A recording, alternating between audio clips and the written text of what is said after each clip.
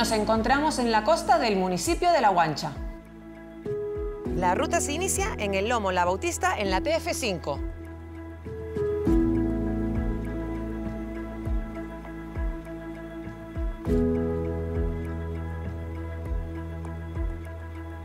Nos encontramos en el barrio Santa Catalina. Después de cruzar el puente peatonal, subimos a la derecha. Justo nos vamos a encontrar este cartel donde nos indica que nos queda un poquito más de kilómetro y medio para llegar al maravilloso Charco del Viento. Así que ahora solo nos queda descender por esta calle y empezaremos a recorrer el bonito sendero. Bueno, por aquí ya nos adentramos por lo que es el sendero que vamos a descubrir. Desde aquí incluso ya podemos ver todos esos bancales de cultivo, ya que La Aguancha ha sido un pueblo tanto pescador como donde se ha nutrido de la agricultura. Vamos a seguir conociendo.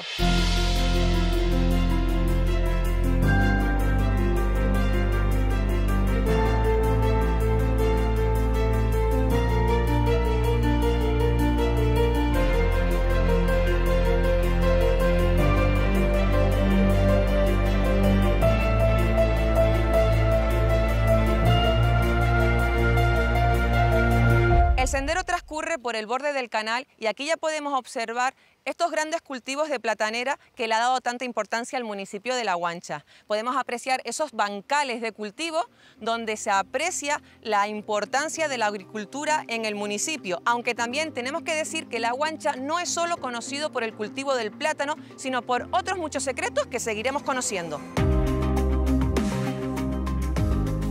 Cuidado al llegar a este punto porque puede crear un poquito de confusión. Nuestro sendero continúa hacia adelante.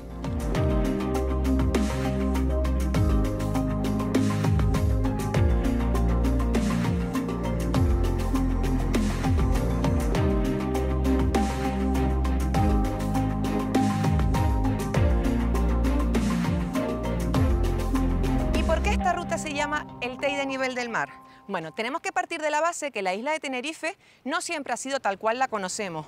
Surgió del fondo del mar y se formaron tres pequeños islotes, que es lo que conocemos como el macizo de Anaga, el macizo de Teno y el macizo de Adeje. En medio, y después de muchos millones de años de evolución eruptiva, se formó un gran edificio que lo unió todo, que lo llegamos a conocer como edificio Cañadas 2. El edificio volcánico denominada Cañadas 2 sufrió un colapso, lo que produjo un enorme deslizamiento de la cara norte de este edificio volcánico hacia el mar, pudiendo encontrar estos restos en el fondo marino. Con las sucesivas erupciones del actual estratovolcán del Teide Pico Viejo, se ha ido rellenando lo que hoy conocemos con Valle La Guancha y Cot.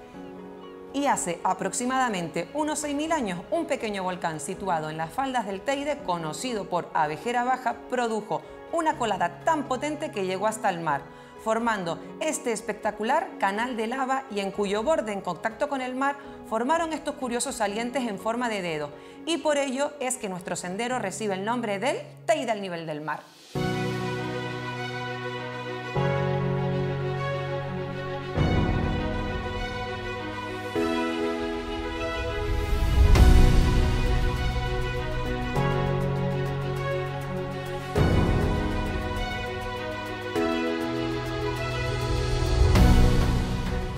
Bueno, ya estamos a punto de llegar al Charco del Viento, esa piscina natural que verán que es fabulosa, pero antes no nos podemos olvidar de decir que, aunque todos los parajes que veamos son maravillosos, no nos podemos salir de los senderos, siempre tenemos que continuar por el camino homologado. Un espacio natural de alta sensibilidad por su flora, fauna y su riqueza geológica. Bueno, ya aquí podemos observar el maravilloso Charco del Viento. Ya nos queda muy poquito para llegar, pero desde aquí ya podemos divisar esos grandes brazos de lava que hacen que sea una piscina natural segura para el baño si la mar lo permite.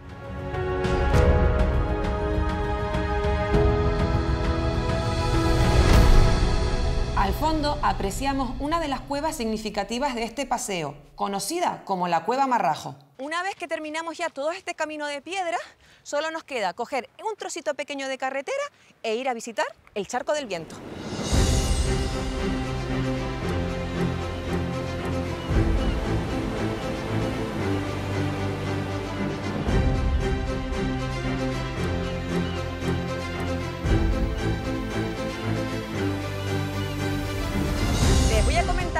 Iniciativa que ha tenido el Ayuntamiento de La Guancha con el área de juventud y la Asociación de la Costa de Santo Domingo. Y es tener el libro caminante, que es una donación de libros donde tú puedes venir, te coges tu libro prestado, te vas abajo al charco o te lo llevas a casa, lo lees y lo vuelves a depositar.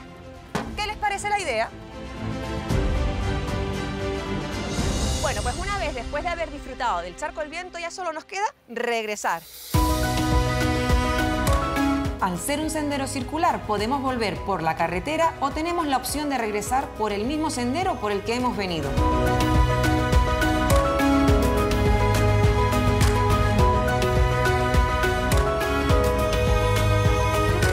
Y si vienes un fin de semana a pocos metros de la entrada del comienzo del sendero, nos encontramos con el Mercado del Agricultor, donde podrás adquirir frutas y verduras kilómetro cero de los agricultores de la zona, además de la artesanía local.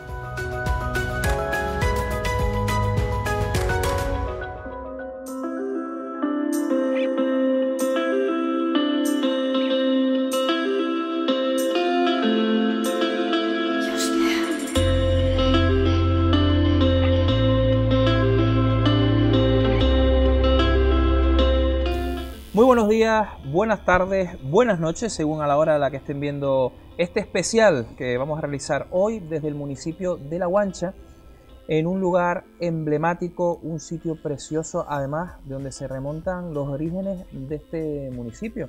Nos referimos al núcleo poblacional de Santa Catalina. Está conmigo ya el alcalde de la localidad, Antonio Hernández. Buenos días. Buenos días, buenas tardes, buenas noches. Sí, porque claro, este programa lo pueden ver por la noche, por la mañana, de madrugada también, a lo mejor, Sí, ¿eh? sí. Alcalde, gracias por recibirnos en el municipio de, de La Guancha y sobre todo en este entorno que, como yo decía, eh, aquí es donde se inició lo que es este municipio, ¿no? De La Guancha. Sí, eh, el origen es el del pueblo es en, en Santa Catalina y luego eh, creció para las zonas altas y bueno, y ahí está la, la historia, hay gente que, que- que ha estudiado y, y que ha investigado ¿no? la historia del pueblo de La Guancha. ¿no? Y bueno, eh, gracias a ustedes también por venir y, y conocer un poquito a través de la pequeña ventana y hablar de también de los orígenes y de la historia de nuestro pueblo, que también es muy importante en los municipios pequeños. Y hoy tendremos invitados muy interesantes. Yo he tenido la oportunidad esta mañana tempranito de darme una vueltita por aquí por Santa Catalina y me ha llamado muchísimo la atención. El sitio es maravilloso. Mm. Además, para mí es de las zonas donde mejor clima tiene el municipio, pues por la cercanía a la costa y, donde mejores, desde mi punto de vista, árboles frutales y plataneras, ¿no? Hay una mayor producción, eh, principalmente está en esta zona, en todo este entorno. Y, y la verdad que es un barrio bastante acogedor, que bueno, que quizás en las últimas décadas se ha ido despoblando, ¿no? Pues, pues por un problema despo- despoblacional. ¿Qué que- población tiene Santa Catalina? bueno, pues yo creo que en torno a 400, entre 400 y 500 aproximadamente, eh, aunque hay una población de gente joven que, bueno, por estudios, por trabajo, pues se han ido a, a vivir a, a otras zonas donde hay más empleo, la zona metropolitana o la laguna o el sur de la isla. ¿no? Pero sí es un barrio bastante acogedor, es un barrio que históricamente sufrió, digamos, la incomunicación con las zonas altas, pues por la distancia, por la orografía, y donde muchos de, las personas que, que viven aquí, pues precisamente no estudian en los colegios de La Guancha, sino en los colegios de San Juan de la Rambla. De la misma forma que la zona alta de San José estudian en la zona de La Guancha, y eso viene a hablar bien de los dos municipios que somos hermanos y que compartimos servicios eh, educativos y también servicios de, de- de todo tipo con, entre ambos municipios, ¿no? Una seña de que somos hermanos y que compartimos muchas cosas entre ambos municipios. ¿no? Qué bueno que digas eso. ¿Cómo van las cosas por, por La Guancha? Tenemos que hablar un poco de, de presupuesto, tenemos que hablar cómo van la- las arcas municipales eh, en el aspecto económico, podemos decir, y cómo va con tu grupo de, de gobierno. Bueno, en la, en la parte económica se puede decir que desde el año 2019 tenemos un- un- una administración completamente, perdón, completamente saneada, una administración con eh, que no debe deudas a ninguna entidad bancaria ni, y deuda cero. Y, luego eh, en estos últimos años eh, hemos ido acumulando un, un remanente de varios millones de euros y que a lo largo desde el desde los años que estamos gobernando y en la actualidad, pues estamos gastando en, nuestro municipio y, básicamente lo que estamos es aportando, digamos, lo que en su momento, pues por las restricciones que existían, pues no se podía, que era mejores instalaciones y servicios a nuestro municipio. Por ejemplo, la obra del campo de fútbol, asfaltados, parques infantiles, la plaza de las cucharas, la plaza de la Guancha Abajo, eh, el asfaltado de la zona del Pinalete, todo se ha detraído una buena parte de los remanentes, que es el dinero que se ha ido acumulando en nuestras cuentas por los ahorros y que ahora pues te lo estamos o se lo estamos intentando eh, devolver al, pueblo, ¿no? Para que puedan disfrutar de, ustedes no son un banco, no son una entidad de ahorro para estar ahorrando el dinero, lo que hay que es invertirlo, ¿no? No, ahora lo estamos gastando porque en su momento las leyes, eh, las restricciones, eh, la regla de gasto, el, uso del remanente y la estabilidad presupuestaria, pues te impedían, no solo te impedían gastar lo que estabas acumulado, sino que te forzaban a seguir acumulando el dinero y realmente la administración está para gastar lo que, lo que gana o lo que ingresa. Eh, y en ese sentido es un poco ha sido la premisa desde que el Partido Popular está gobernando eh, nuestro municipio desde el año 2015. ¿no? Y bueno, y, desde el punto de vista económico yo soy el responsable, el consejo responsable de economía. Y la verdad que mm, la premisa es hacer un control estricto y riguroso del gasto público, también de contención del gasto en todo lo posible eh, pero sobre todo también con un nivel de ejecución bastante elevado en materia presupuestaria. Para los dineros que están en, los distintos capítulos del presupuesto pues se puedan gastar y ejecutar en, lo que hemos planificado año tras año a la hora de elaborar los presupuestos municipales. ¿no? En unos años, precisamente este año, donde sí que se están poniendo las cosas bastante feas por la crisis que, estamos empezando a, a sufrir las administraciones locales, sobre todo porque estamos viendo ya una merma de, ingresos eh, a partir de los impuestos directos de, nuestros vecinos, pero quizá lo más grave está habiendo un aumento notable del capítulo 2, del capítulo de, bienes y servicios, básicamente por el aumento del coste de los combustibles, de la luz y del agua también. Y eso pues sí, la verdad que está, a mí personalmente como responsable de, economía, pues sí que de la administración local me, me preocupa los próximos meses y quizás los próximos años la situación en la que se puede encontrar la administración. Claro, porque el capítulo 1 no se toca, que es el de los empleados, ¿no? Del ayuntamiento, que siempre va a ser lo mismo. No, bueno, precisamente eh, a partir de, este año, que bueno, recientemente acabamos de, sacar, de publicar y aprobar eh, la oferta pública de empleo, donde se va a estabilizar eh, nada más y nada menos sin precedentes, 58 eh, plazas en nuestra administración y donde se van a funcionarizar casi la mitad y eso sí que va a suponer en los próximos años una modificación al alza, es decir, va a ir un aumento progresivo del capítulo 1. Pero yo no lo considero como un gasto, eso, es, una inversión muy necesaria claro. porque, por desgracia, hemos llegado a una administración completamente desmantelada, sin un solo funcionario. Estamos en la actualidad sin funcionarios. Y, y, a este extremo no teníamos que haber llegado. Una administración pública tiene que tener funcionarios, eh, porque sin, funcionarios no se puede dar fe de la documentación pública y en la actualidad, pues la verdad que tenemos un problema estructural derivado de la inacción del pasado, ¿no? de las últimas décadas no se ha convocado una sola plaza funcionaria en la administración pública. que faltan 58 personas en el ayuntamiento? No, no, digamos se trata de regularizar, estabilizar las plazas que están ocupadas por los trabajadores que ocupan las plazas actuales, en la actualidad, que son personales laborales indefinidos pero que no son funcionarios. Y además estamos en una situación anómala e irregular. Eh, quienes están en el registro tienen que ser un funcionario y dar fe de la documentación que pasa por registro cualquier eh, vecino o entidad o empresa tiene que dar fe de son funcionarios, lo está desempeñando un personal indefinido, pero bueno, esto es un problema estructural histórico, ¿no? Y insisto, en los próximos años sí que efectivamente, a medida que se vaya, digamos, desarrollando esa oferta pública de empleo que la acabamos de aprobar recientemente, pues vamos a disponer, y quizás para mí de las partes que al menos yo personalmente me siento francamente orgulloso de haber contribuido en los próximos años de tener una administración preparada para respuesta a los vecinos, con funcionarios y que, y que, permita tener una administración ágil. Insisto, pues que en la actualidad cuesta mucho pues la carencia de, funcionarios en nuestra administración pública. Una situación insostenible, pero bueno, eh, yo espero que aquí a finales del 2024 pues ya tengamos bastantes funcionarios en la administración que nos permita abordar el futuro con, con, mucha agilidad y sobre todo con preparación, que es lo que se espera de la administración pública. ¿no? ¿Consideras estás contento con los resultados del programa electoral? Digo resultados, si se ha cumplido lo que ustedes ofrecían en el, en el programa electoral del Partido Popular y después con esa mayoría absoluta que, que obtuvieron. Hombre, eso es una pregunta bastante importante e interesante, ¿no? Eh, eh, cuando nosotros nos presentamos en 2019, obviamente eh, nos presentamos con una carta de presentación, un programa electoral donde... Realista. Realista, pero a la vez ambicioso, ¿no?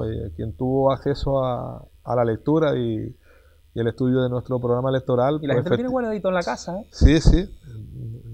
Yo en este caso, yo entiendo que todos los políticos, pero en mi caso hablo de aquí en La Guancha, eh, que fue a quien trabajé en la redacción principalmente del programa electoral, obviamente hemos puesto las cosas con conciencia, es decir, a sabiendas de que tenemos que cumplirlo y en la medida de lo posible también eh, se puso que habían cosas que se cumplían más a corto plazo en esta legislatura y otras cosas que iban a tardar más tiempo. Como el auditorio, por ejemplo, que son... Y cosas que obviamente dependían de también de compromisos y voluntades de otras administraciones, dígase Cabildo o Gobierno Canarias, ¿no? Pero yo creo que en términos generales sí que sí que puedo darle un aprobado a, a los compromisos y a, digamos, a, a nivel de satisfacción del trabajo, aunque todavía nos queda todavía un, un año, ¿no? Un año de, de mucho trabajo, pero, pero, en definitiva, sí, sí, la parte para mí de los todos muy importante, pero hay cosas que para mí eran claves, que fueron los que me empujaron a continuar una legislatura más, que era la obra del auditorio y que ya está en marcha y que, bueno, ya está cambiando el entorno de nuestro municipio, una obra eh, sin precedentes de 5,3 millones de euros con mobiliario y, vamos a tener un, quizás en 2023, 2024, pues no, quiero decir fecha, pero sí en un, tiempo cercano, muy cercano, un auditorio referente en Tenerife eh, de nada más y nada menos 5,3 millones de euros. ¿no? Y, Diseñado por un arquitecto maravilloso que es Menin. Sí, sí, Fernando Menin. Y luego también nos empezó la obra de las cucharas, la obra del campo fútbol, le falta, eh, quedan cosas pendientes que por una cuestión u otra, pues obviamente se han ido retrasando en el tiempo. La ejecución de la del ayuntamiento como la piscina por sí la ejecución de la urbanización exterior de la piscina que nos permita eh, abrir todo ese complejo deportivo. Hemos este en, en marzo del año del 2020 21 eh, eh, construimos un skatepark de 400 metros cuadrados donde la verdad que ha sido una verdadera maravilla y, los chicos están la verdad que encantados ¿no? de, tener esas instalaciones y, bueno, en términos generales nos faltan cosas. Eh, hay una espina que tengo clavada y que me ha sido verdaderamente imposible de resolver, que es la, playa Santo Domingo, el problema de la inseguridad en nuestra playa que todavía, pues a día de hoy sigue estando cerrada, a, a nuestros vecinos. Y luego la, la, parte que me queda todavía, que, que, yo sí que creo que se va a resolver y, y que, eh, que es la urbanización exterior de la piscina, que ya insisto, ya los dineros están y, parece que en breve nos los van a ingresar al ayuntamiento y empezaremos todo el procedimiento de, licitación. Sí. Bueno, estos son peleando con eso, son cosas que, son cosas que pasan cuando pasan y está uno asumiendo la alcaldía, ¿no? Y, y, obviamente no es lo que me hubiera gustado que hubiera pasado, pero bueno, también es verdad que desde el momento en que se finalizó esa obra, que empezó en el año, en octubre del ¿eh? en octubre del 2016 empezó la obra de la piscina, ese edificio en sí se acabó, pero claro, quedaba todo un equipamiento interior que no había, eh, la parte exterior, terrazas, acceso, eh, toda la urbanización exterior, skatepark, calistenia, que todo que englobaba. Y básicamente ya en estos años se ha ido avanzando en todo eso. Ya está completamente dotada, está todo el skatepark, toda la parte exterior. Solo falta el último digamos, paso, que es la urbanización exterior, que parece que ya eh, vamos a tener las perras en breve y, y, se iniciará antes de acabar esta legislatura la obra, sin duda alguna, y, y, bueno, no quiero decir fechas, pero bueno, sí que está cerca, la, más cerca, obviamente, la, apertura de un complejo deportivo que, insisto, eh, la gente desconoce realmente eh, el, el pedazo complejo deportivo que, que, tenemos en nuestro municipio. Un municipio que es pequeño, de 5.500 habitantes, pero, no tiene nada que envidiar ningún municipio grande a, lo que tenemos en nuestro en el municipio de La Guancha. Eso sumado al, al auditorio y, el resto de inversiones, pues, pues yo creo que tiene que hacerse sentir orgulloso a todos los vecinos del pueblo, a todos los, los guancheros. Queda mucho por hacer, obviamente, ¿no? Por eso te digo que es una pregunta difícil porque porque eh, la gente, no todo el mundo quiere lo mismo. Hay gente que le gustan obras, hay gente que le gustan eh, otras cuestiones, fiestas. Sí, pero ese programa fue consensuado con los vecinos, ¿no? Sí. En un poco las peticiones de la gente. Obviamente, no, habían cosas que, que eran, eh, que eran obligatorias. El auditorio era algo que, que había que empujar para adelante y, y no ha sido un, un proyecto nada fácil. Ha empezado desde cero, con muchos problemas y sigue en la actualidad con, en, la fase de ejecución. No saben ustedes con la cantidad de problemas que estamos abordando la ejecución de, esta obra. Tremendo, ¿no? Pero bueno, ese es nuestro trabajo, ese es lo que nos corresponde, eh, conseguir que se ejecute la obra y, bueno, que en un tiempo corto pues podamos poner a disposición de nuestros vecinos lo antes posible y disfrutar de unas instalaciones que desde mi punto de vista podemos presumir de primer nivel y que creo que debe sentirse orgulloso todo guanchero, ¿no? que, se sienta a su pueblo como, como tal. ¿no? Bueno, tuvimos recientemente la visita del presidente del Cabildo de Tenerife, ha venido ya varias veces a la, a la guancha. ¿Y qué le, qué le has podido transmitir? Bueno, obviamente eh, yo he estado continuamente en contacto con el presidente porque eh, en la guancha tenemos que ser agradecidos y, y no nos podemos quejar del Cabildo, de la institución, obviamente, a pesar de, ser otro partido político, ¿no? Yo entiendo, aunque yo no voy a hablar en nombre de nadie, pero sí puedo hablar en el mío, que el presidente debe ser presidente de todos los tinerfeños de la misma forma que yo soy el alcalde de todos los guancheros. Eh, y tengo que atender y dar respuesta a todos los vecinos independientemente de cuál sea su sentido de la votación eh, cuando hayan sido las elecciones. Y en ese sentido, pues siempre he exigido y pedido a los responsables públicos de otras administraciones el respeto institucional. No siempre ha ocurrido. Pero en esta legislatura no me puedo quejar del trato, el respeto institucional por parte del presidente del Cabildo y, sobre todo le he querido trasladar que venga a la guancha para ver el nivel de ejecución y ver que efectivamente lo que hemos dicho en la guancha de que nos den los dineros a nosotros, que nosotros nos encargamos el resto, lo estamos cumpliendo. Estamos gastando los dineros, estamos ejecutando y no estamos devolviendo nada, porque lo, lo ejecutamos todo, lo gastamos y eso pues está contribuyendo sin duda alguna desde mi punto de vista a una mejora notable de, nuestro municipio y, de instalaciones que es básicamente eh, lo que pretendemos con, estas acciones. No es solo ir a buscar las perras, sino después conseguir que ese dinero se gaste, que a veces pues muchos ayuntamientos por desgracia eh, lo piden y después lo tienen que devolver por, por no tener capacidad de gestión. Importante lo que estás diciendo. Bueno, uno de los motivos por los que estamos aquí es el pedazo de videoclip, videoclip no, perdón, el pedazo video promocional de La Guancha, son varios vídeos que estamos emitiendo nosotros en esta casa, en Canal 10 Televisión. Maravilloso esos videos promocionales del municipio de, de La Guancha. Yo te dije el otro día a nivel privado que mucha gente del sur los había visto y desconocían, ¿no? El rico patrimonio que tiene La Guancha y todas las cosas que tiene este, este municipio, ¿no? Bueno, yo lo dije el otro día, ¿no? Es un pequeño balcón que hemos abierto, que nunca habíamos tenido esa... Es que la guancha no tenía nada promocional, ¿no? Esa oportunidad de, de, ofrecer a, a, toda persona que quiera conocer el municipio y quizás de las mejores formas a través de vídeos promocionales, además muy bien trabajado porque hay mucha gente detrás que, que, que aportó la idea y que, que aportó su granito de arena, ¿no? Y, bueno, ya eso lo, también se lo trasladé a la concejala. Esto es el principio. Yo creo que esa es la línea, ¿no? De seguir promocionando nuestro municipio y además tener eh, herramientas de todo tipo, audiovisuales y como la guía turística del sendero, del senderista que, también eh, sacamos adelante, eh, pues conseguir que, como bien dices, que gente del sur pues desconocía esa parte del municipio. ¿no?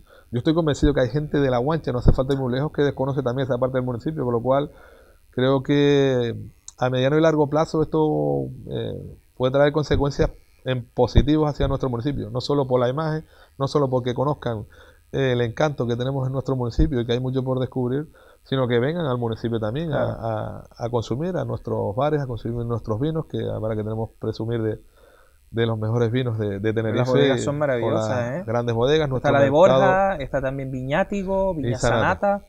Y, y, luego tenemos también el, la plataforma del mercado del agricultor, que también es una mejor plataforma para vender nuestros productos eh, locales. ¿no? Y al final, pues, el, tema de esto es que eh, cuanto más hacemos, más la sensación tenemos que tenemos que hacer. Es decir, que nos queda todavía un trabajo por delante, más cosas, de, porque nos falta.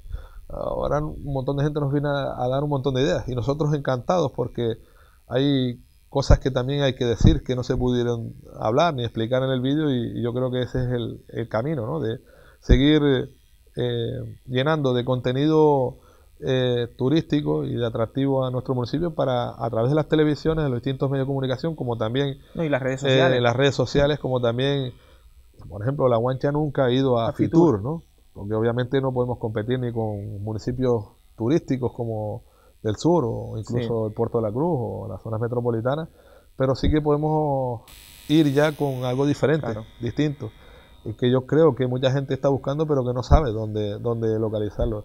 Y quizás eso es el primer punto de partida, ¿no? Y ahí es donde todavía nos queda una ardua tarea, ¿no? Es obviamente no solo hay que centrarse en las obras que son importantes y en las inversiones, sino también en la promoción en positivo de, de nuestro municipio. En el fondo esto eh, si se sigue trabajando en esa línea, pues va a contribuir a, digamos, a, obtener un mejor municipio, ¿no? Y que generar más empleo, más atractivo turístico y que la gente conozca en positivo también nuestro municipio, que, bueno, que es un municipio pequeño, desconocido, y ese ha sido un poco el, el, camino, ¿no? Yo tengo que agradecer obviamente al gobierno de Canarias a través de, de Parques Nacionales y el PDR, y en este caso también a, todos los trabajadores y muy en particular a la concejala Lorena Soca, pues por también es diplomada en turismo y, obviamente es algo que, final del programa. que, tenía como una espina clavada y, yo creo que el COVID le ha venido bien porque el hecho de no poder hacer fiestas, que es un poco las áreas de más peso y donde más horas le dedicaba, le ha permitido pues reinventarse y hacer algo que, que no ha podido hacer en estos años que lleva conmigo, ¿no? que ya lleva siete años. Y, yo me alegro muchísimo porque... A la chica no le bajes el presupuesto, ¿eh? De sus áreas. No, no. Eh, fíjate que, hemos sacado, mira, otra de las cosas que ha sido todo un éxito y gracias al COVID es sacar adelante el proyecto La Galería, eh, que es un proyecto de embellecimiento, de recuperación etnográfica y cultural y tradicional de nuestro municipio que nunca habíamos hecho con la, elaboración de murales, de figuras, de, y que y que precisamente eh, este año a través del remanente hemos traído una partida específica concreta para sacar adelante este proyecto. Y, y, con esto lo que quiero decir es que sí que le estamos dando importancia y ya con ficha financiera que hasta ahora nunca la había tenido para que este proyecto siga creciendo y se siga enriqueciendo todo el municipio de, toda esa tradición, esa cultura y esa arte que carecía nuestro municipio. Estamos intentando que sea por, por todos los barrios, por todas las calles y para eso requerimos obviamente dinero, ¿no? Y eso un poco es el compromiso que, hemos asumido con la concejala y yo y el resto de, la corporación eh, municipal. Alcalde, gracias por haber estado con nosotros. Nosotros continuamos este programa desde el barrio de Santa Catalina. Su mensaje para todos los vecinos, aproveche ya que nos están viendo todos, seguro hoy. Bueno, pues a, todos eh, eh, desearles mm, que sea una semana fructífera, animarles a ya, ya corresponde, no tenemos mascarilla, ¿no? Me, me parece estoy una de las primeras entrevistas donde no estoy con mascarilla, ni los que me rodean están con mascarilla. Se agradece muchísimo. Eh, de hecho, ya ni en la administración tampoco la estamos usando. Eh, tengo que pedirles disculpas porque estos años han sido verdaderamente terribles, ¿no? Donde hemos perdido, para mí lo más importante, la cercanía al ciudadano. Eh, mucha gente es la que me dice es que hace tiempo que no te veía y yo, es normal, porque nos han tenido recluidos en nuestras casas, hemos estado eh, confinados mucho tiempo y con miedo, obviamente, para protegernos de nuestra salud. Y eso lo estoy notando un montón ahora, ¿no? Y la gente está reclamando eh, esa, cercanía, y, obviamente, pues aquí estoy para... Y, desde la administración también, las puertas siempre han estado abiertas, no, no las tengo cerradas para nadie, es la administración es de todos, el, el ayuntamiento es de todos y, y desearles a todos que este año eh, no vuelva a repetirse esa situación y, poder disfrutar de, de, todo, lo, no solo de nuestros encantos y de nuestra naturaleza y de nuestros atractivos turísticos, sino también de nuestras celebraciones, de nuestros actos deportivos, que la verdad estos dos años o algo más de dos años, pues por desgracia lo hemos perdido, ¿no? Y, eso pues ya es irrecuperable, ¿no? Yo espero que, sobre todo me preocupa en eh, la recuperación de las fiestas eh, de los barrios, ¿no? Que eh, está costando crear asociaciones de, comisiones de fiesta, de la misma forma que también se han ido desmantelando las terceras edades, que son los, de, los colectivos más castigados, pues yo la parte que me corresponde animar y, que estoy aquí a plena disposición para ayudar yo y toda la corporación a, recuperar esa actividad, ese asociacionismo aquí en particular en Santa Catalina y en Santo Domingo ha sido bastante intenso, pero que estos últimos años prácticamente ha desaparecido. Animales a, salir a la calle y, a disfrutar también de, nuestra calle y de nuestras instalaciones municipales, que precisamente en estos años de pandemia, pues cuando más inversiones hemos realizado en el municipio de La Guancha, aportar mm, distintas instalaciones municipales, que, pero aún así no se ha podido utilizar por las restricciones porque eh, hemos tenido que, eh, digamos, impedir a los vecinos el uso de... Es anecdótico, pero eso eh, nos ha pasado muchísimo en esta, en esta legislatura, ¿no? y bueno, al final yo es una historia para el olvido, espero que esto no vuelva a ocurrir y desearles a todos que, que, bueno, verlos en las calles y sobre todo estoy ante la disposición, sigo, me queda un año en esta legislatura y sigo de la misma, con la misma intensidad y las mismas ganas de ilusión para abordar este año que nos queda con, mucho trabajo y sobre todo para intentar en la medida de lo posible de, eh, seguir resolviendo los problemas y, conseguir un, municipio mejor. Esa es la premisa que tengo como, político y desde el momento en que, decido presentarme a las elecciones. Eso nos gusta. Alcalde, nos vamos a un rinconcito de esta plaza porque hay un invitado que seguro conoce y está con Eduardo Medina.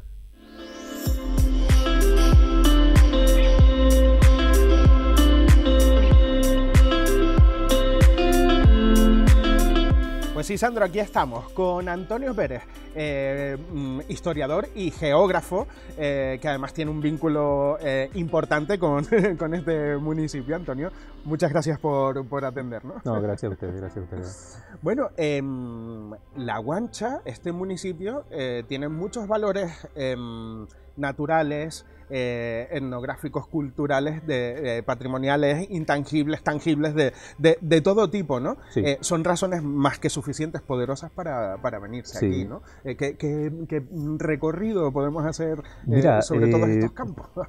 bueno, no nos olvidemos que estamos en un municipio pequeño, 20, 20 kilómetros cuadrados, pero en esos 20 kilómetros cuadrados, por la, por la orografía del, del terreno, la formación del, del municipio, pues tenemos recursos desde, desde la costa, como decía Salvador Pérez, hasta la cumbre. Vale, eh, ahí se condensa todo un núcleo de recursos eh, potencialmente eh, susceptibles de utilizar en, turismo. No hay un modelo turístico definido, con lo cual ahora estamos en ese momento de decir qué es lo que queremos y hacia dónde queremos ir. además, yo creo que coincide además en el tiempo con, todo este parón mundial que hemos, que hemos vivido y en el que nos hemos dado cuenta de que el turismo no va a ser el mismo. más, es más que probable esto, ¿no? Em, bueno, aquí en la guancha hay un lienzo en blanco para esto. Sí, sí, lo que decía. Eh, también es verdad que, está llena de valores. Hay, que, definir, hay que definir un poco cuál es el modelo, ¿no? No, no, va, no se va a ir hacia un modelo eh, orientado hacia el hotelero, playa, exacto, eh, turístico masificado. ¿no? Pero sí es cierto que puede ser un, turismo orientado hacia la visita. Mm. ahora se está experimentando en los últimos años un auge de las viviendas vacacionales mm. y no sabemos todavía el impacto que ha tenido en la economía local, pero sí, pero sí está teniendo un efecto positivo en, en, esto, en, eh, en, la economía municipal. Eh, recursos muchos, recursos muchos, desde, desde la costa eh, como, como, lugar de interés comunitario, arqueológico, la zona de, bueno, está definido eh, un sendero local que es el, el de paisaje de, perdón, el de el TEI de nivel del mar. Mm, está definido también otro proyecto en la, en la medianía, que es la, la de paisaje del agua.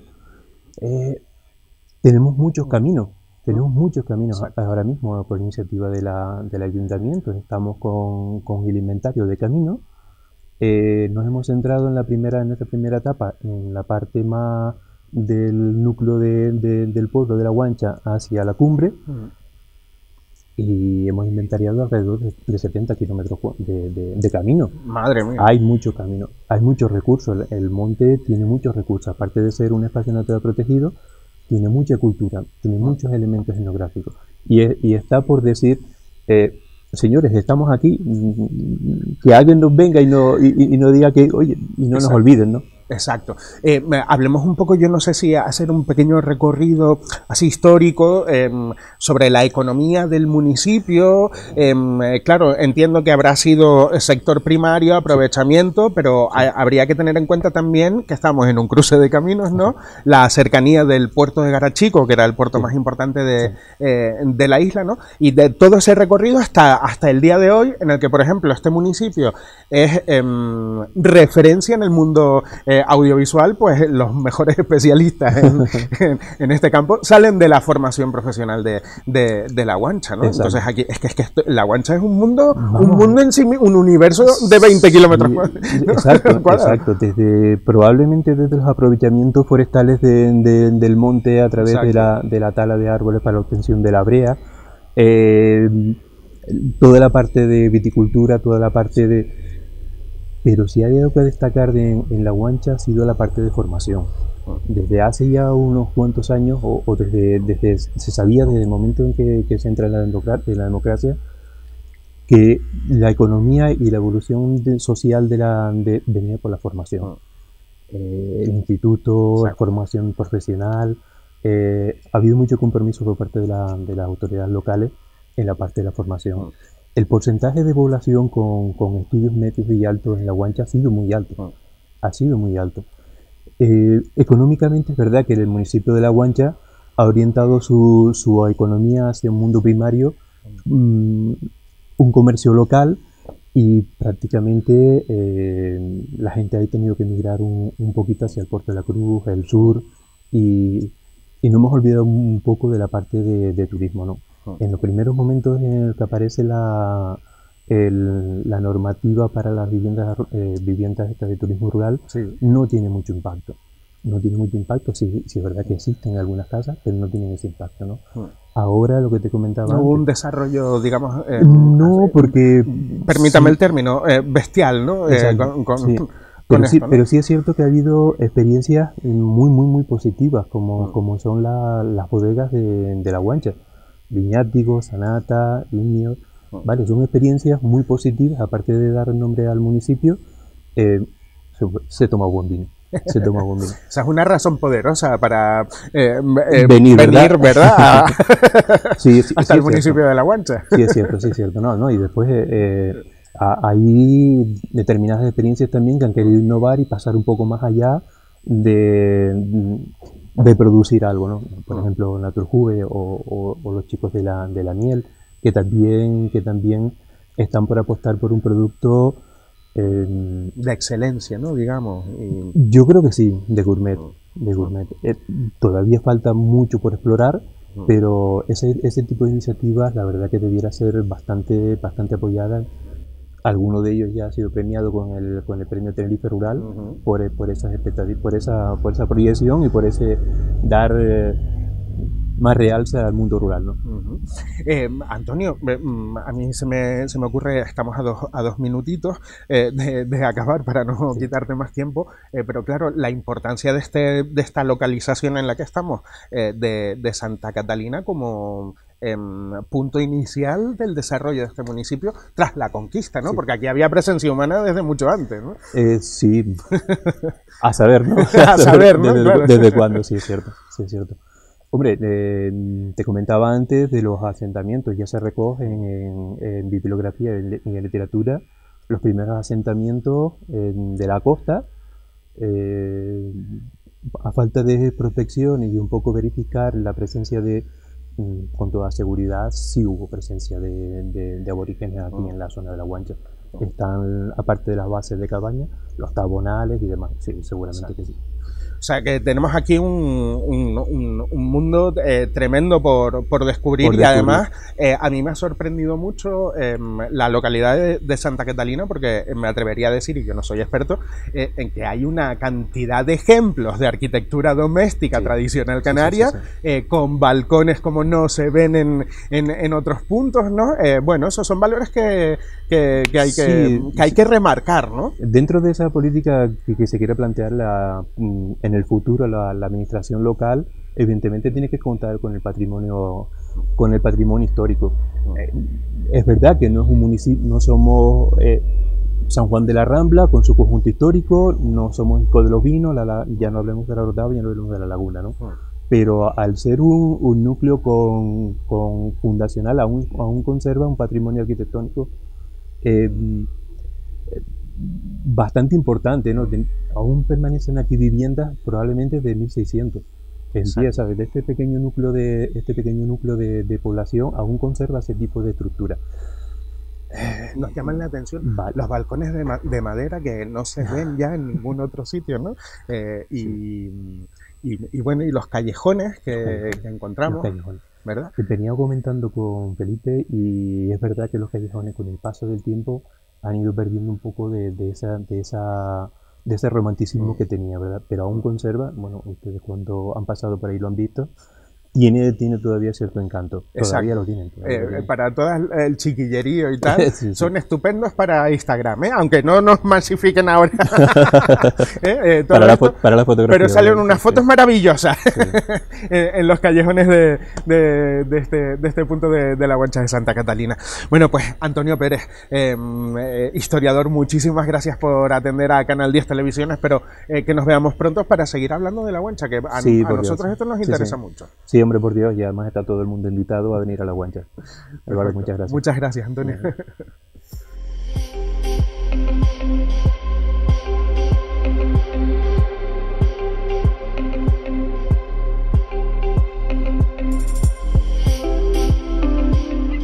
Aquí continuamos en este especial de Canal 10 Televisión, hoy en el municipio de, de La Guancha, localidad querida por, por todos nosotros y que estamos eh, descubriendo aún más si cabe. Con nosotros se encuentra eh, su cronista oficial, Salvador Pérez. ¿Qué tal? Bienvenido. Bueno, Aquí, bienvenidos ustedes. Muchas gracias, bien hallados que estamos. Exactamente, esa es la Eh, clave. em, eh, además, en el, en el punto fundacional de este, de este municipio, ¿no? Eso está claro. Pero eso te lo explica mejor eh, José Felipe que intervendrá después. Pero esta fue la clave. La clave fue desde aquí. ¿Cuánto hace, pa- para decirte los datos exactos? Sí, claro. La, estamos hablando de que la Guanya, como todo, eh, eh, la Guanya mm, apareció en, en 1499, para que los alumnos se vayan dando cuenta. Los reyes católicos, todo ese rollo. 1499 es la primera data de los canarios que vinieron aquí. Pero después, la primera ermita estaba en lo que se llama la Puerta Quemada, que voy a, voy a recordarlo después, A unos metros. en 1510. Exacto. 1510. Y la parroquia, que es la, la importante, el casco, di- digamos, a- apareció 89 años después. O sea que bastante, la clave fue aquí.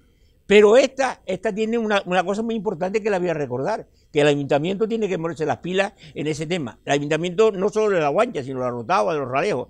Eh, la puerta quemada, todo esto desapareció porque aquí, exactamente, yo, est- esto es cosa de un librito que hice pequeñito de la Guancha que, que está todo, yo y Juan, y Juan José Rodríguez. El 7 de noviembre, 7 de noviembre de 1826, o sea, ahora, 196 años. ¿Te estás enterando, Lorena? Quedan cuatro años eh, para, para 200 años. Aquí, eh, eh, en el norte de Tenerife, que esas cosas parecen que la gente dice, no, un aluvión, un aluvión que se llevó 223 personas. 220. Y de, de la, de la guancha, de la guancha se llevaron, murieron 50 personas, hasta, hasta un guardia, un- un- uno que hacía guardia en el servicio militar en el puerto de la Cruz. Bueno, se llevaron pues eh, ganado, 340, bueno, todo. Esto era cuando la guancha tenía en aquel tiempo, si eh, tenía pues mil, 1.300 habitantes. O sea la guancha hoy tiene 5.000 5.428, que la gente dice, la gente de los chicharreros dice, ah, la Guancha es un pueblito, un pueblito, 5.428 habitantes en, en, la península es la, es, la, es la, capital de una comarca. Exacto. Es, que, es que o es el número de habitantes de la isla del Hierro claro, aproximado, ¿no? Que confundimos las cosas, no es igual decir ese tema. En la península que aquí decimos el tanque, Vilaflor, pero esos son... Eh, Salvador, ese, ese hecho, supongo que el del, el del, el del aluvión eh, marcó significativamente el devenir de, de, la historia, aquí, no solo de la Guancha, sino de, pero de Santa norte, Catalina, ¿no? porque allí se llevó la, la, la, la, la puerta quemada, la zona que uh -huh. está aquí. Entonces, por aquí, mira, frente, detrás de mí está. Por toda esta zona, esto fue un tema clave, porque los quedamos pues, sin nada, un, un, pueblo de 1.300 habitantes, se quedó, bueno, hasta eh, una de las personas que ha hecho los grandes, uh -huh. un pintor inglés, Alfred Liston, que, que, que, ha hecho los mejores trajes, las pinturas de los trajes típicos, cuando llegó a la guancha y vio la guancha, dijo, bah, esto, ¿para qué vamos a hablar? Esto es el sitio más abandonado del mundo. O sea que esto cambió, cambió mucho. Radicalmente. Entonces, la idea de que venir a la guancha, pues sí, vale la pena venir a la guancha, porque la guancha viene de, de, de mar a cumbre. En la cumbre es una maravilla, porque en la cumbre está, voy a decirlo porque yo lo he escrito muchas veces en el periódico El Día muchos años. En, en, en la, arriba está Cerro Gordo, que es la montaña. Hay dos cerros gordos, uno de allá de, de Icó, que es. Eh, eh, pero este, el, el Cerro Gordo está todo el norte en una mirada. Porque tú miras desde Punta del Hidalgo y llegas a Buenavista. Y allí tienes, detrás de ti, detrás de ti, tiene el, el, el, mar de pinos, porque es un mar de pinos para, para, los canarios. Y frente al Teide, un Teide de categoría, no un Teide cambadito, sino un señor Teide. Salvador, y, es que entonces queremos decir que la guancha tiene eh, atractivos naturales, eh, eh, etnográficos, eh, de, de, todo tipo, ¿no? Culturales, humanos. hay que venir a la guancha. Claro. ¿Verdad? Pues claro que hay que venir. Pues hay mira, tanto que descubrir, te, te ¿no? Digo, te digo, por ejemplo, eso del mirador, porque empiezo sí. por ahí. Empiezo por ahí. Porque César Manrique, cuando estuvo allí, que se subió a un, a un, punto que se llama punto geodésico, que es una cosa que marcan a, abajo en, en, en, el charco del viento y después hay otro arriba que marcan las alturas. Entonces uh -huh. se subió allí, quítamelo delante que, que, yo estaba peleando con él. Porque yo le hice muchas entrevistas a César Manrique. César Manrique estuvo aquí en, en julio de 1986. O sea, ahora se van a cumplir 46 años. Yo le hice muchas entrevistas y en ese tiempo el alcalde de La Guancha, que era Pepe Grillo, eh, lo invitó a una campaña de pintura y tuvo tres días aquí, tres días inolvidables, porque aquí en este barrio, bueno, ¿para qué para acá vamos a hablar? Ya te lo contará mejor eh, José Felipe. Eh, lo recorrió todo, pero después fue al Charco Viento y en el Charco Viento se volvió loco, porque él quería hacer dos cosas y, y el proyecto mm. empezaron a caminar. El mirador, el mirador que él, él explicaba, pues sabes cómo era él, que era un, una persona, de un, era un, mm. bueno, un volcán, en ese tiempo era un volcán humano. Entonces él empezó a ver, a ver lo que podía hacer debajo. Y empezó a visualizar y a contárselos a ustedes, ¿no? No, hablándolo, hablaba, él hablaba, él hablaba y, y, todo lo decía mm. allí. Y entonces, eh, por cierto, César Manrique, les voy a decir a la gente que vea el programa una, una frase que me dijo a mí siempre. Eso le iba a decir, eh, una me anécdota. Di, me di siempre, eh, en, un, en una entrevista que yo le hice en el despacho del periódico El Día, me dijo una cosa que, que, que la tengo grabada. Él venía de, de, de, una exposición en Tokio, que por cierto estaba allí en la exposición en Tokio, y otra de Nueva York. Y venía con un frío en el cuerpo. Dice, es que tengo el frío en el cuerpo. Y ahora llego a Lanzarote. Nosotros, sitios bonitos, fíjate, para que aprendamos. Sitios bonitos en el mundo hay muchísimos. Canarias es mm. una maravilla.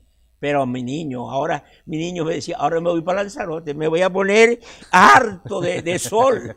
O sea, que nos demos cuenta de esa importancia. Se bueno, le va César, a ir el frío del cuerpo, César ¿no? Se le iba a ir fue, del frío del cuerpo. Fue una de las visitas que da. Entonces, Fundamental. la guancha tiene que, mm. que, ver desde abajo, el, el charco el viento, el charco Cotacero hasta la, la playa de Santo Domingo, el charco el viento tampoco me lo llenen mucho, tampoco, tampoco se pase, sino bueno. Hay que venir de manera ordenada, ¿no? A, a, la guancha. Y limpieza, que es una la clave. La clave es no pasar y dejar tu, tu, tu, tu rastro de, de exacto, limpio, coño, de mala humanidad sean detrás, limpios ¿no? y sean ordenados. Cuando más limpieza, mejor. Entonces, desde ahí hacia arriba, tiene e- este, Mm. este barrio que es precioso, Santa Catalina, Catalina, que es donde se fundó, precioso. Y después sigue por ahí para arriba, que son unos campos preciosos. Mm. Hombre, ya no como antes, la papa bonita, que es otro tema que, que es maravilloso hablar de la papa bonita, porque la guancha, la guancha eh, recibió con Nico del Alto, no te olvides que la Mm. papa, la papa, que es otro, tema curiosísimo, La- el reservorio está vino, aquí. vino, eh, de- exacto. vino aquí, vino aquí Exacto, aquí. el reservorio está entre la guancha. papa, exacto. papa- la papa la entre la guancha y Cot del Alto está el reservorio de, papas tema- canarias. otro ¿no? tema incru- interesante. La papa Exacto. bonita empezó aquí, en esa zona. Exacto. Y entonces, pues tienes todos esos campos, son una maravilla. Y después un lugar para flores. Yo, por ejemplo, yo, por ejemplo, tengo en mi casa, tú me dices un árbol, lo tengo. En, en el Calvario, porque José Felipe, yo soy de aquí, yo voto aquí, yo llevo toda la vida aquí. Mis hijos, mis hijos eh, votaban aquí, mi mujer aquí, siempre hemos estado en la guancha. Eso sí, yo he estado maestro, O sea- pues, cu- cuatro años en La Palma, 20 años en, en Ico de los Vinos, eh, allí en, en el Y, barrio haci- del Palme. y haciendo crónicas, ¿no? Hombre, es que ahí empecé. Es que ya, ya me lo reconocieron. Eh, es decir, yo empecé a escribir.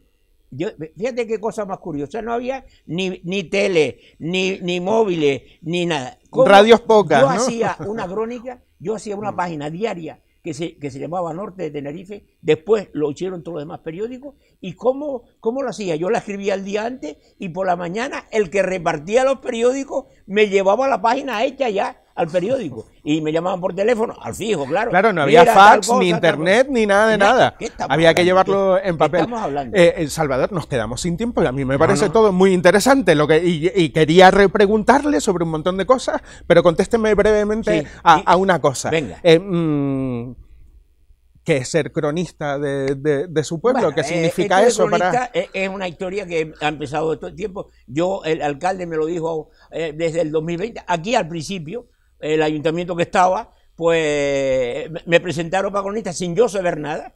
Cuando en los días más difíciles de mi vida, que yo no los tendré peores, no te olvides que yo siempre recuerdo, nos- yo tengo una fundación, yo no, un equipo de gente, Mm. tenemos una fundación que se llama, eso es bueno para que me hagas una entrevista un día, a fondo, Fundación Canaria Carlos Salvador y Beatriz.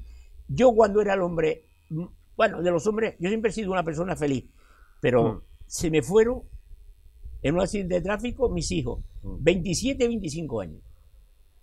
Cuando tenían todo, cuando tenían todo para, para seguir viviendo, bueno, tenían trabajo, en fin, ¿para qué te voy a contar? Pues resulta que, bueno, tuve que inventarme una vida nueva, empezar a vivir. Eh, Por eso yo siempre digo que Aurora y yo tenemos dos vidas. Yo siempre tengo, siempre digo que dos vidas. Una antes y, Y otra... entonces, en aquel tiempo, a, a los pocos años de aquello, te estoy hablando de- del día, ¿eh? que eso fue un 1 de junio, porque fueron dos entierros, y, bueno, de, mi hijo, de Beatriz no, pero de Carlos, se pudieron aprovechar, siempre lo cuento para que se den cuenta, 17 partes de su cuerpo. Y la primera operación de dos pulmones, de dos pulmones en, un hospital de Córdoba, de Andalucía, fueron los pulmones de mi hijo, que los enteramos después. Entonces, eh, como digo, tuvo que empezar a vivir. Y entonces, en el- al poco tiempo, al 2004, no sé qué, me, me- me- me hicieron todo el mundo, un grupo de amigos, el, el director del Instituto La Guancha, Jerónimo, un montón de gente, eh, Carlos Hernández, un montón de gente, hicieron para que nombraran cronista oficial de La Guancha. Pues el ayuntamiento eh, lo rechazó. Y claro, yo me cogí un rebote después, impresionante. Bueno, pues ahora el ayuntamiento de Tony, el alcalde Antonio Hernández, bueno, pues ya empezó, yo le dije que no. Le dio la lata... Y estuve un año o un año y pico. Resistiéndose. No, me, él, él era- me decía todos los, me decía, yo te puedo llamar todos los meses. Efectivamente, todos los meses me llamaba. Digo, ya veremos, ya veremos. Entonces ya hizo, hizo una labor de zapa, que si tal y cual. Y, y soy cronista oficial de la Guancha. En un acto precioso donde asistieron, te las cuento, porque, porque yo las tenía contadas. 152 personas Personas. y le pegué un rollo es- eso escrito. Eso todo, todo muy bien preparado. Todo, todo muy bien preparado, ¿eh? Salvador, yo creo que, que- que debemos de, de dedicarle un capítulo entero en Canal 10 eh, Claro, eh, para, que hablar de, de todas y- estas cosas, allí, ¿verdad? Pues ¿Eh? es que sí, mira. el- porque es muy interesante para usted. la última la entrevista la hizo el que lleva toda la zona norte, que es Raúl Sánchez, Mm. y me hizo una entrevista maravillosa. Estuve hablando con él.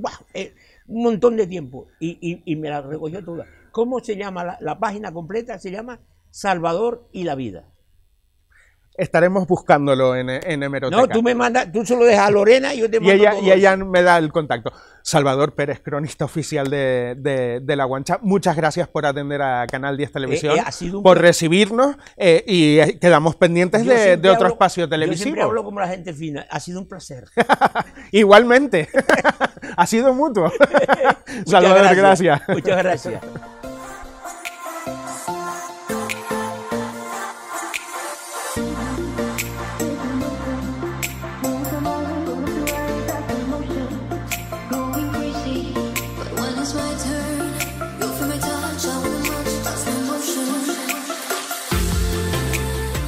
Continuamos en este maravilloso punto del municipio de, La Guancha, fundacional eh, de, este, de este municipio, localidad de Santa Catalina. En este momento vamos a eh, continuar hablando sobre em, la historia del eh, municipio, porque claro, aquí po- podemos hablar de toponimia, eh, poblamiento, eh, historia tras la conquista, eh, geografía, en fin, un montón de cosas. Vamos a saludar a José Felipe García Silva, él es profesor, eh, además em, fue edil en el Ayuntamiento de La Guancha, ¿verdad? Em, muchas gracias por, por estar con nosotros, bienvenido. Muchas gracias por invitarme y, y- y la, tener la oportunidad de hablar de la historia de este mi barrio, ¿no? Que, que- que fue el núcleo originario de este municipio, La Guancha. Exacto, exacto, que, que, bueno, eso sorprende, a- claro, a la gente que no es del municipio, entiende que la guancha es arriba. Y fíjense ustedes, eh, eh, empezó eh, el, el municipio, su poblamiento tras la conquista fue,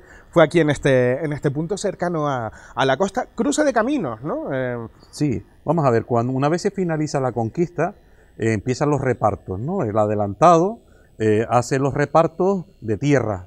Aquí, si nos vamos a dar cuenta, este núcleo se llamaba Santa Catalina del Mal País. ¿Por qué? Porque estamos en el territorio más joven de la isla de Tenerife. Eh, ustedes saben, si conocen un poco de geología, el Teide anterior se derrumba y eh, Exacto. sobre eso empiezan los materiales del actual edificio Pico Teide, el estratovolcán, y empieza a formarse lo que sería este valle desde Santa Catalina hasta Ico de los Vinos. Eh, los primeros núcleos de, eh, de asentamiento dentro de esta comarca van a ser Santa Catalina e Icod, justo en el otro extremo. Desde Santa Catalina hasta Icod, hasta el siglo XX va a haber muy poca población. Santo Domingo, que es otro de los núcleos importantes hoy en día de la Guancha, no va a aparecer hasta el siglo XX. Por lo tanto, aquí van a haber solamente un núcleo eh, fundacional. ¿Por qué? Porque hay agua. Hay un manantial, una fuente que no es la famosa fuente de la Guancha. es la fuente de Santa de Catalina. Santa Catalina. Eh, en Claro, esa- sin agua eh, difícilmente se va a poder establecer un poblamiento, ¿no? Exactamente, cuando se hacen los repartos, los repartos vienen condicionados por la existencia de agua. Si no hay agua, no hay. Sobre todo en esos primeros momentos cuando hay una agricultura relacionada con la caña de azúcar. Que aquí no hubo ingenio, en Santa Catalina no hubo un ingenio, ¿no? Pero sí hubo un núcleo poblacional alrededor de lo que es esta ermita y, como antes decía Salvador Pérez, el núcleo fundacional no está aquí. Este es un núcleo que aparece en el siglo XIX después del aluvión. Pues ustedes saben, en la misma fachada de la ermita, ven que esta ermita fue reconstruida o fue construida en 1878, Exacto. Finales del siglo XIX, y todo este entorno fue construido en esa fecha. Por lo tanto, lo que fue la historia original de la Guancha, de, San- de- de- de Santa Catalina, desaparece con esa aluvión. Se lleva lo que es la iglesia, se lleva 10 casas que habían alrededor, más dos vecinos que también fueron llevados por esa gran riada hacia la costa. ¿no? Eh, entonces, ese núcleo que es, fun- es- es fundacional eh, en el siglo eh, XVI, Mm. a- hasta durante 120 años, el núcleo importante que va a haber en la Guancha es Santa Es Catalina. Santa Catalina. Entonces, hasta que no se construye y ya se le da todo el poder eclesiástico al dulce nombre de Jesús, la iglesia de la Guancha, Santa Catalina era el lugar donde los feligreses de la zona de medianía venían por el camino de la cañada, que es el que tenemos justo aquí atrás, que era como yo, yo lo llamo el cordón umbilical. El cordón umbilical que unía lo que fue el núcleo fundacional del municipio con el que se fue creando posteriormente y después con el paso del tiempo, un siglo y pico más tarde, cobró más peso, más importancia económica y todo se trasladó hacia las medianías. Pero durante esos 120 años, Santa Catalina fue el núcleo importante. Y vamos a dar otro dato importante. Eh, durante 20 años fue la única iglesia que había, porque aquí junto con Santa Catalina se funda el núcleo poblacional de San Juan. Pero hasta 1530 San Juan no cuenta con iglesia. Entonces, para que nos dé- son datos para que nos vayamos dando cuenta de la importancia Exacto. de este núcleo fundacional. que a lo de mejor nuevas generaciones no entienden, eh, pero eh, normalmente los eh, núcleos poblacionales eh, se creaban a partir de, de- de- de la iglesia, de la ermita, ¿verdad? De la, de la capilla, de lo, de lo que fuera, ¿no? Em, tenemos aquí mucha eh, toponimia, em, eh, José Felipe, tenemos eh, muchas tradiciones. em, bueno, yo no sé de qué manera podemos em, resumir esto para, para nuestros espectadores. Bueno, hay un núcleo importante, un nexo importante que es el Camino Real. El Camino Real fue creado por los reyes católicos, toda la red de caminos reales, para unir los distintos núcleos de población. El Camino Real pasaba por aquí, subía por la Puerta Quemada, pasaba por San Juan de la Rambla, hoy en día quedan restos entre el barrio del Rosario y las Aguas, y entonces pasaba por aquí y continuaba hasta lo que nosotros llamamos el Natero que es una zona toponímica, que era donde había un pequeño barranquillo, donde se iba acumulando esa nata, ese barro, y de ahí vienen los nombres de los nateros canarios. A partir de ahí subía hacia la yegua y continuaba hacia Icoz. Entonces, por lo tanto, ese núcleo originario tenemos que verlo entre eh, la que es la Puerta Quemada y lo que es la pla- actual Plaza de Santa Catalina, que es la Plaza del Natero. Pero ¿a quién se le dio esas tierras aquí? Que es lo importante. Eso es lo que nosotros queríamos eh, Los saber. primeros pobladores son de origen gran canario.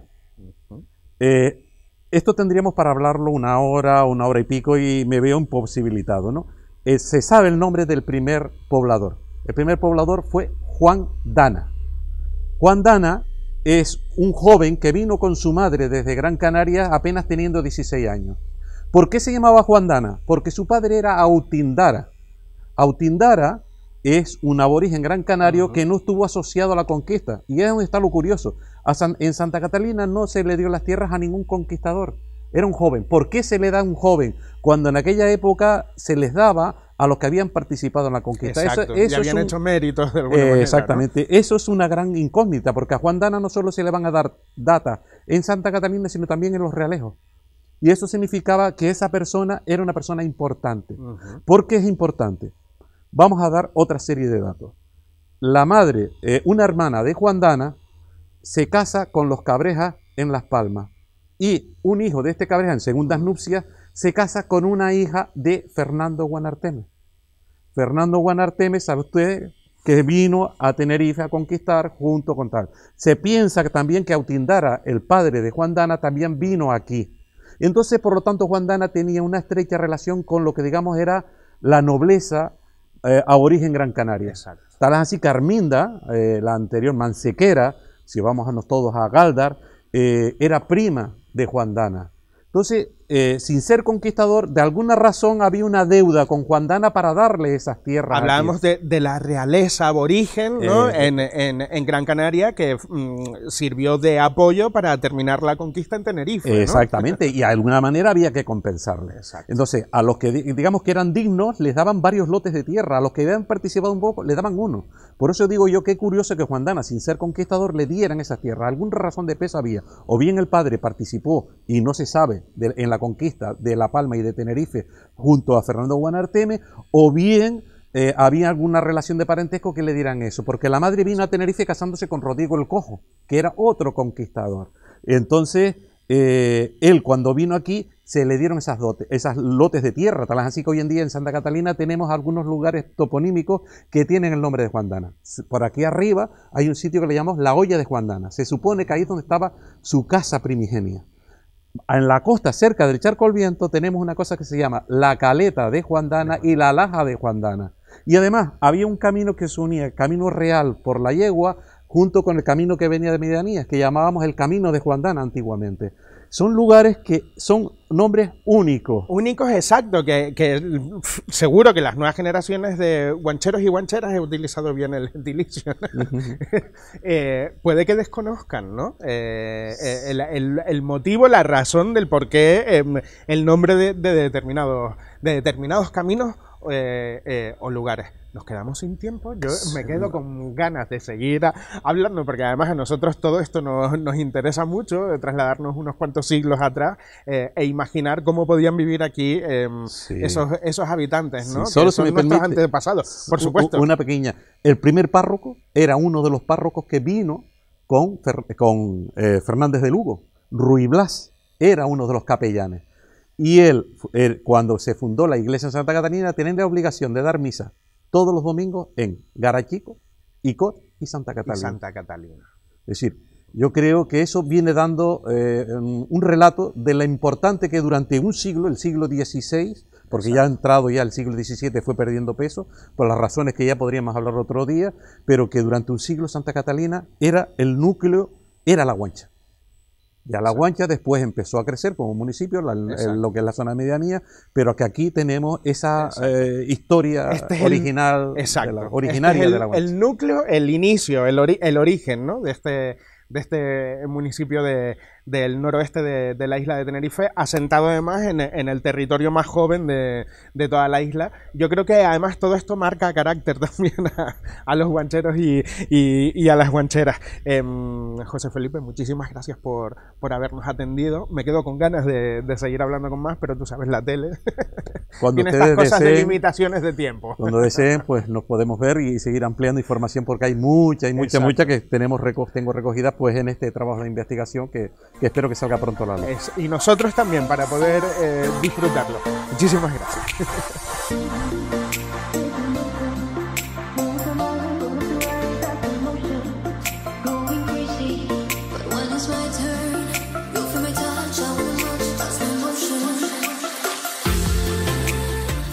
En este punto, en la plaza de la ermita de Santa Catalina, comenzábamos hace unos cuantos minutos ya con eh, la entrevista que el director de, esta casa, Sandro Pergola, le realizaba al alcalde de esta, de esta localidad. A nosotros nos ha tocado el honor de ponerle el punto y final a este programa especial de Canal 10 Televisión. Eh, saludamos eh, en este momento eh, a la concejala de turismo, entre otras áreas, del Ayuntamiento de La Guancha, eh, Lorena Soca. Muchas gracias, bienvenida. Muy buenos días y muchas gracias por, por acercarse a nuestro municipio para dar a conocer todos los encantos que, que tenemos en La Guancha. Eh, que son muchos, bien hallados nos encontramos. sí, sí. Eh, eh, Lorena, además hemos estado haciendo un repaso histórico eh, al, al- al municipio, a la realidad de- de- del municipio.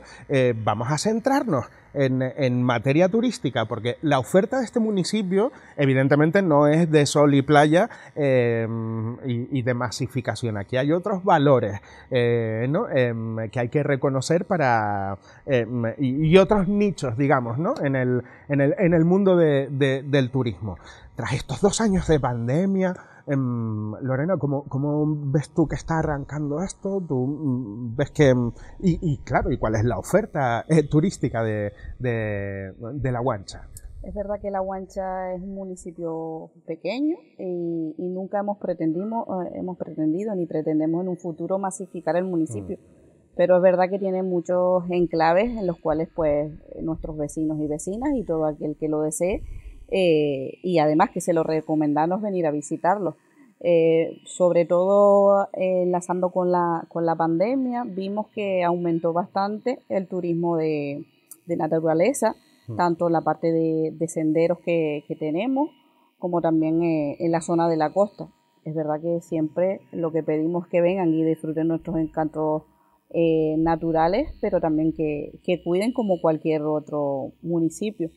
Y a su vez también se, se ha intentado pues enfocar eh, recientemente con un, con un proyecto de, de promoción de, de dos senderos que tenemos, uno en la costa, el a nivel del mar, que sale de aquí, desde el barrio Santa Catalina hacia el Charco del Viento y después puedes volver a hacerla circular. Lo hemos unido también a, a los productos locales que los podemos encontrar en el mercado del agricultor, que es comarcal, pero la verdad que, que tenemos muchos eh, agricultores de, y agricultoras de la Guancha y, y de la comarca y, y es un lujo poder tenerlo dentro de nuestro municipio. Ser cabecera en ese, Sí, sí, ser eh, cabecera de y que venga gente de, de la comarca a, a consumir ese producto kilómetro cero. Y a su vez eh, pretendemos unir este, eh, esta zona del, del barrio de Santa Catalina con el casco de, de La Guancha, también con esa red de, de caminos que también comentaba anteriormente Antonio Pérez, que se está trabajando en ello, y a su vez enlazarlo con otro sendero que es eh, denominado Paisajes del Agua, que sale de- del casco de La Guancha y, y visitan muchas zonas de medianía, vemos muchos asentamientos de agrícolas, todo el tema de, sobre todo lo hemos enfocado sobre la importancia del agua en, en nuestro municipio, que no lo, no lo podemos olvidar y, y yo creo que mucha gente conoce el municipio debido a eso y, y en ese aspecto también llevamos varios años trabajando, sobre todo en el mes de marzo-abril, con unas jornadas que eran técnicas eh, sobre el agua y después unas rutas que, que eran guiadas con, con guías y, y- y compañeros de- del municipio y fuera de él, un grupo humano muy, muy importante. Y de esa manera pues se daba a conocer toda esa, esa zona. Y a su vez pues este año hemos hecho varios vídeos promocionales de esos dos senderos y, y del municipio en general. Y tampoco nos podemos olvidar de la parte artesana, que tenemos un centro de, de artesanía, que para mí es un lujo que esté en nuestro municipio, que se ha mantenido.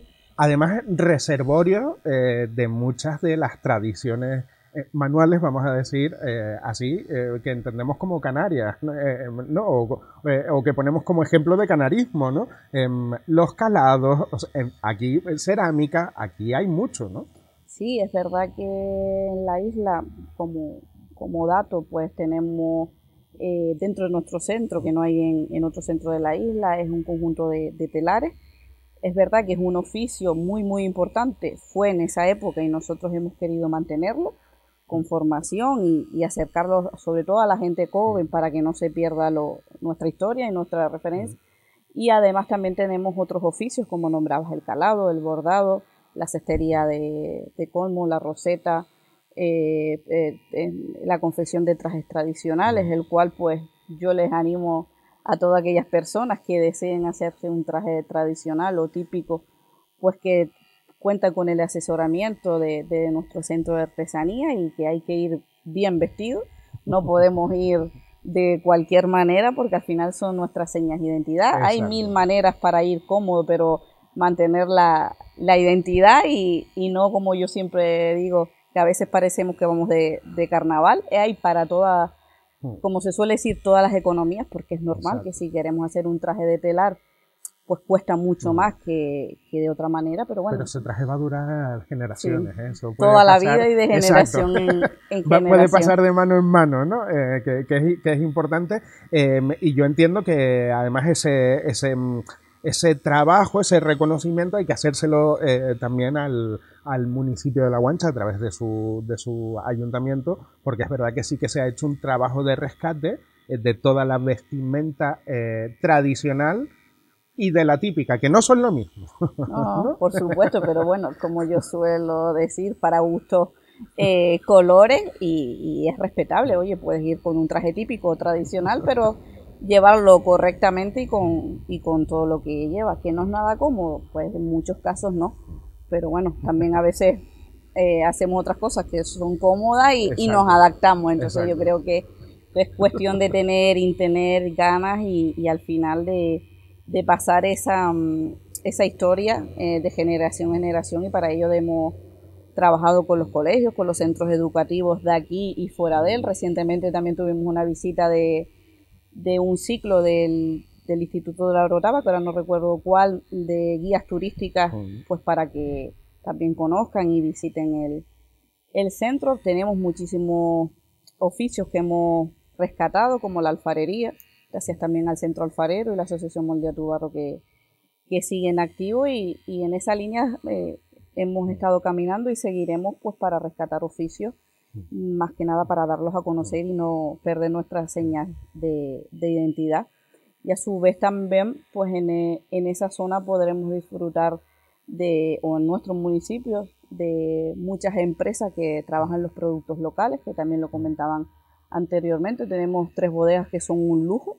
Para, Referencia, para- además. Sí, sí, referencia en Tenerife. en Tenerife Y en Canarias de y en el mundo. la exacto. verdad que hay muchas que, que importan y, y gracias a ellos pues, también se da a conocer pues nuestro municipio, también empresas como Naturhuber, que es una empresa pues mm, que se ha- en los últimos años se ha reinventado y ha sacado algunos productos que llaman mucho la atención y al cual los recomiendo. También la empresa eh, de miel, Sun Miel, con sus chocolates y sus derivaciones. Y la verdad que, que es de agradecer que gracias a iniciativas privadas, pues también conozcan la guancha y la gente venga, al igual que con el resto de restauración, que, es- que es poca, Exacto. pero es de muy buena calidad. La oferta gastronómica, exacto, pero eso, eso yo creo que es importante también, que no, que no esté masificada. Eh, me- Lorena, nos- nos- madre mía, esto de la televisión, tú sabes, nos, nos vamos quedando sin, sin tiempo, eh, pero yo en- entiendo que esta es una buena plataforma eh, para recordar los encantos y virtudes de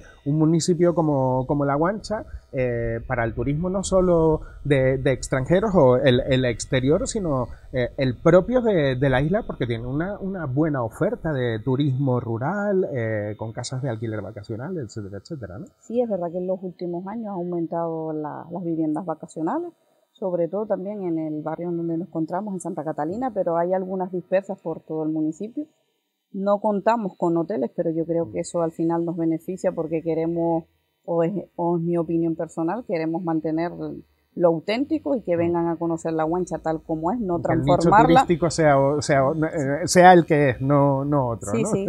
Y al final, pues la gente que, que decida pues venir a disfrutar tanto de nuestra naturaleza, nuestros paisajes, nuestra gastronomía, nuestras tradiciones, porque al final durante todo el año pues tenemos varias tradiciones, al cual pues la gente les gusta, eh, la gente o somos muy noveleros y siempre queremos disfrutar de, de esas señas de identidad de Y- cada y municipio. Después de estos dos años que hemos vivido, ¿no? De estos dos, tres años que, que nos ha tocado vivir, entiendo yo que la gente tiene ansia, ¿no? Por, por Sí, vivir sí, sí. cosas, ¿no? Eh, Yo creo que acumular eso, experiencia. yo creo que eso es positivo y buscar un, un equilibrio y, y también comentar como algo auténtico de la guancha es pues en los meses de finales de año es un cultivo que se hace en esta zona, al igual que en la zona de, de San Juan de la Rambla, que es el ñame, que Ujú. solo se consigue en Santa Catalina. Es verdad que, y San Juan, es verdad que el que le gusta, pues ya lo, lo, lo cultiva cada uno, pues para tenerlo. Y también una cosa muy importante que al final es hasta curativo, tiene mucha, mucha historia, es el aro, que hay mucha gente que no lo conoce.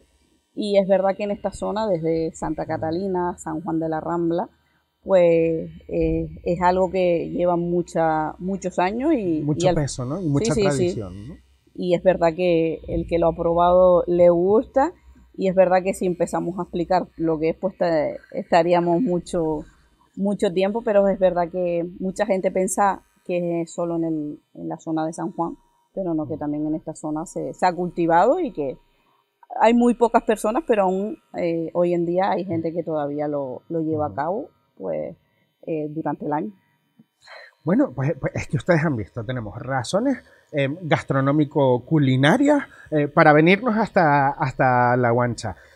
Razones de conocimiento histórico mm, y de, pues eso, del, paisanaje, ¿no? Y de, mm, qué es La Guancha y de dónde viene, ¿no? Em, tenemos una buena oferta de naturaleza. Em, este es un municipio que está eh, muy atento al, al valor añadido y a la investigación y al desarrollo eh, con ese apoyo que se le da a, a la formación profesional en audiovisuales, que es fundamental. Viene gente de toda Canarias hasta este, hasta este instituto, ¿no?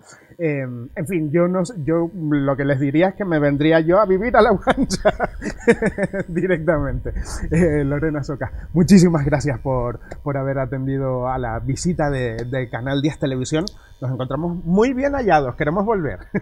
Muchísimas gracias a ustedes por, por querer venir a nuestro municipio y, y dar a conocerlo, aunque sea eh, en breves pinceladas. Y también me gustaría pues agradecer la participación de, de las tres personas que participaron en este programa. Es verdad que cada uno de ellos podrían hacer mil programas porque tienen Exacto. muchísima información y, y gracias a personas inquietas y que les gusta su municipio, pues hay muchas cosas que, que siguen para adelante o que se dan a conocer. Yo misma por, por mi edad hay cosas que gracias a ellos he, aprendido y, y es nuestra intención darla a conocer a los más jóvenes. Así que gracias a Salvador, a Antonio y, y a Felipe por tendernos la mano y dar a conocer todos los valores en pinceladas del municipio de La Guancha. Exacto, nosotros nos sumamos a ese, a ese reconocimiento. Nos ha encantado, eh, repetimos, nos ha encantado estar aquí en, en, La Guancha y esperamos estar pronto por aquí. Lorena Socas, concejala de Turismo, entre otras áreas del Ayuntamiento de La Guancha. Muchas gracias por atendernos. Gracias y buen día. y nosotros eh, lo dejamos aquí, llegamos al final, hemos agotado nuestro tiempo de televisión local que muchísimas gracias a todo el equipo de, de, esta casa. Eh, Este es un saludo que también les envía el director de, de esta casa, eh, Sandro Pérgola, que veían ustedes al principio con, con el alcalde de este municipio de La Guancha. Que nos vemos muy pronto aquí en Canal 10 Televisión.